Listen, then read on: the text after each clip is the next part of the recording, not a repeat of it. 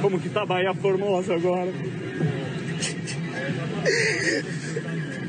Eu queria que minha avó estivesse viva para ela ver isso. Para ver o que eu se tornei, o que eu me tornei e que eu consegui fazer pelos meus pais, pelos aqueles que estão ao meu redor. E não sei, não tenho palavras, eu só tenho a agradecer realmente. É algo que eu almejei bastante, eu sonhei. Tá lá do lado da minha cama essa frase que eu falei no início. Todo dia eu orei às três da manhã, pedi a Deus que ele realizasse esse sonho. E tá aí, meu nome tá escrito na, na história do surf.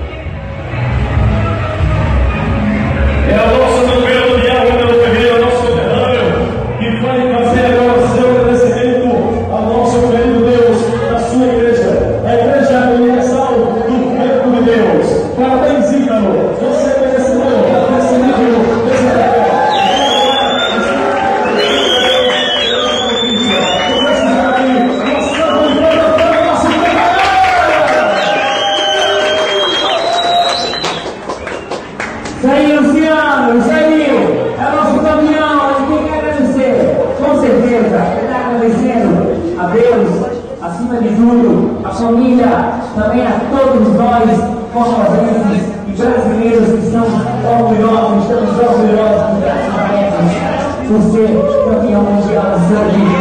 Então, Ferreira, ele, teu Espírito possa guiar, teu Espírito possa conduzir. Nós determinamos a tarefa, no nome do Senhor valeu!